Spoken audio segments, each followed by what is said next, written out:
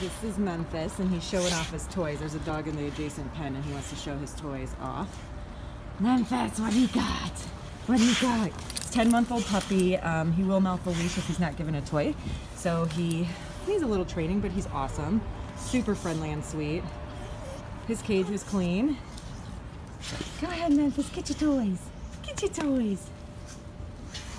Come here, baby. Good boy. Good boy. There he goes.